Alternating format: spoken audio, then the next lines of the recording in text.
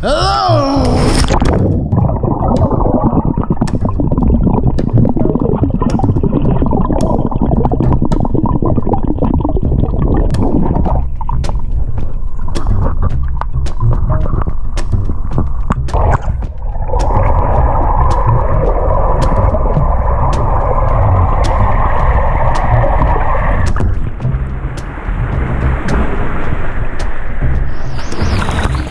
Welcome back to another video. As you can see, I'm wearing some flippers or fins if you are a little professional. What's the difference between fins or flippers? They're the same thing. If you are like a deep sea diver or ocean swimmer, then you're probably gonna call them flippers. If you're a competitive swimmer, you're gonna call them fins. These are fins, and you can see that they're really short. Some flippers, they can go up to here, like this tall. And you see those scuba divers wearing them, right? This tall. So it varies the size of the flipper that you get. I find that these ones are a lot easier to carry and transport. All right, I can carry them around uh, in my bag a lot easier than the ones that are like this tall. Okay, so keep that in mind. And another thing is that you notice that these ones are a little bit loose for my feet. Okay, and that was my mistake. When you try to buy fins or flippers, always get one size smaller than your shoe size. Okay, so if your shoe size is 10, go for a flipper size of 9 because in water, everything expands. Why do we wear flippers or fins in the pool? Okay, that's a good question. A lot of people think that wearing flippers is a necessity when it comes to swimming, and I have to say, no, it's not really a necessity. Nine times out of 10, I'm not wearing flippers to the pool because one, I already know how to kick properly when it comes to front kicking and back kicking. If you're a newbie swimmer, you don't know how to kick properly with your feet. And that comes with front kicking and back kicking, okay? Sometimes you're doing some sort of abnormal kicking, and if you're just kicking alone, you feel like you're not going anywhere.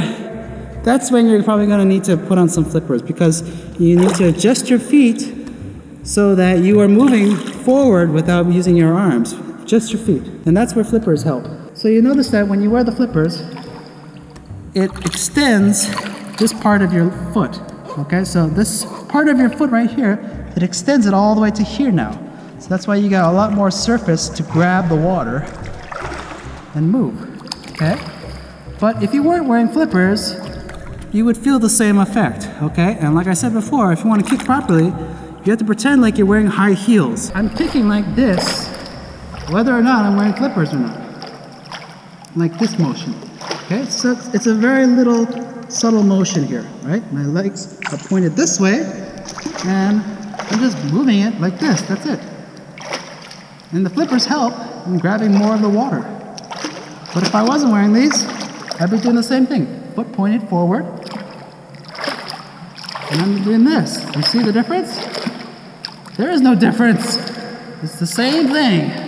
Okay, a lot of you are probably kicking like this, or like this, and you're not getting anywhere. Another thing is, when you try to wear the flippers, don't wear your flippers on deck, okay? Don't wear them on the pool deck like this. I've seen so many people trip and fall because these things are heavy, cumbersome, and, they're just not made for walking on dry land, okay? So, as you can see, I put the flippers in the water first.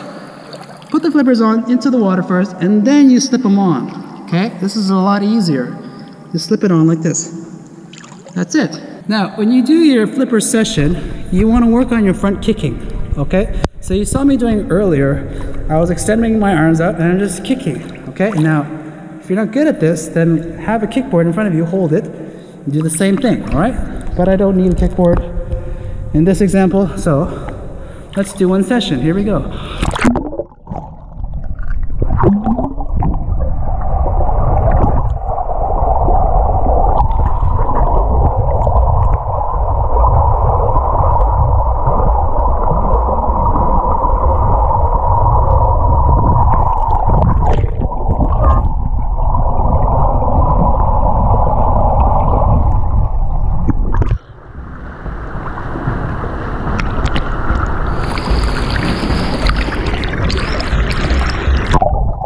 So the difference that I notice when I wear flippers is that I move about, I would say 25 to 30% faster than without wearing them. But the downside is that I feel the, the flipper's weight on my feet a lot more, okay? So I feel a lot, I feel about 25 to 30% heavier around my feet. So it's a lot like, how, how can I say? Moving with the flippers on is like moving in mud, okay? The water is not as light and easy to manipulate like this, okay? This is light and easy for me. But with flippers on, I feel a lot slower and sluggish, like I'm moving through mud or quicksand. The motions of my feet are a lot slower and require a lot more muscle in order to move these flippers up and down. Here's another thing, or the reason why we wear flippers, okay? Not just for foot correction, but it's also for long distance swimming. So for example, if you were given the task of swimming, like say 500 meters, okay? 500 meters, that sounds crazy, right? You're doing like, Jesus Christ, like 20 laps worth of continuous swimming back and forth. How can you visualize that if you've never done it before. The easiest way to, to think backwards is to put on flippers, wear some hand paddles, maybe like a scuba mask if you want to, to make your life easier and just accomplish those 500 meters with all these gears on, like all this aid with you versus doing it alone and trying to just claw your way up to 500 meters. Like I said, the flippers help. Hand paddles help. A scuba mask, snorkel mask can help getting you towards that 500 meters first, right? You work backwards. And then once you've reached that 500 meters, then you can take apart your gear, right? Take apart the snorkel mask, take apart the hand paddles, take apart the flippers. All right, so whenever I do long distance swimming, if I'm going to be swimming continuously for like an hour, back and forth, and I've never done it before, then I'm going to wear flippers. Then I'm going to wear hand paddles. Snorkel mask, who knows, okay? I don't need it, but some people do. And you've probably seen them at your pool. They have snorkel mask, hand paddles, and the flipper combination. They're, they're working backwards, okay? In their minds, they haven't done long distance swimming. They're not familiar with 500 meters, doing it from start to finish continuously. So that's where these things come in handy. And that's why you see people wearing them. The problem with these things is a lot of people rely on these. This is like their crutch when it comes to swimming. Like they can't swim without these things on. They can't swim without a hand paddle. They can't swim without a wetsuit. And I would say you've got to stop relying on gear in order for you to swim. At the end of the day, all we can rely on are, is our hands and our feet. And if we're lucky, we have goggles nearby. If you're in an emergency situation, you don't have goggles around you. You don't have flippers around you. You don't have a wetsuit. You don't have bathing suit. You don't have a swim cap what are you going to do? Are You're going to just stand there and say, oh, I can't get in the water because I don't have my flippers with me. I can't save that person because I don't have my gear on. I can't swim because I didn't bring blah, blah, blah, blah, blah. Do you see what I mean? That's, that's your crutch that you're relying on. So stop relying on these things, okay?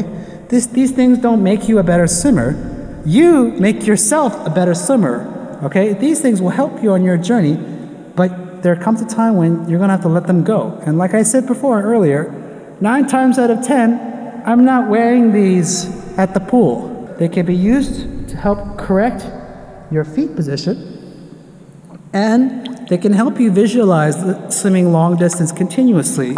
All right, getting over that hump of how do you swim 500 meters, how do you swim 1,000 meters continuously. You work backwards. Now, here's another thing. Do not try to do flip turns with these things, okay? Don't try to do any fancy turns, okay? Why? Because when you think about it, when you do a turn, you're landing with your balls of your feet like this. Okay? When you do a flip turn, boom, you land, boom, feet, balls of your feet. You don't land flat footed like this. Do you see what I mean? Do you see what I'm getting at now? So if you're wearing flippers on, if you land with the balls of your feet, your flipper is to smack right into this piece of concrete and it's to damage your flippers. That's one disadvantage to wearing flippers is you can't do flip turns, or if you try to do flip turns, boom, you're gonna damage your flippers in no time, and these things will break, they will snap. All right, so don't try to do flip turns. Okay, you see that? It's unnatural for your flippers.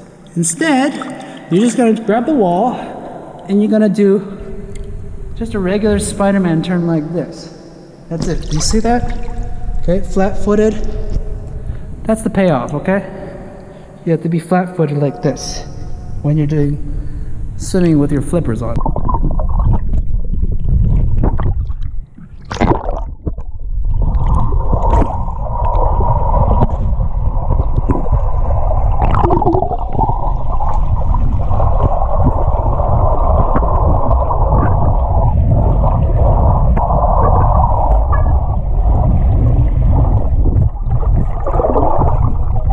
So what are the strokes that you can practice with flippers on? Well, you can do front crawl or front kicking. You can do back crawl, back kicking. Can you do breaststroke? Not really, okay? Because you're you're relying on this surface of your foot. You know what you do? Breaststroke, whip kick, and the flippers just get in the way. so you can X breaststroke, but you can work on dolphin kick, butterfly if you want to.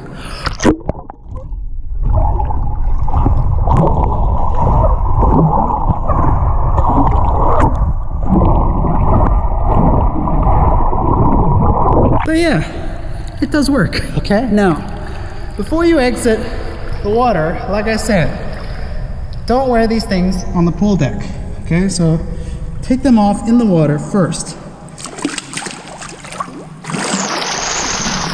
Pick them up like this.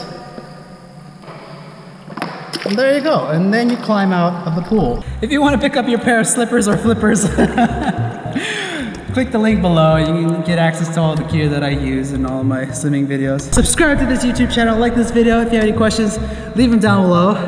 And I'll talk to you later, okay? See you later, bye.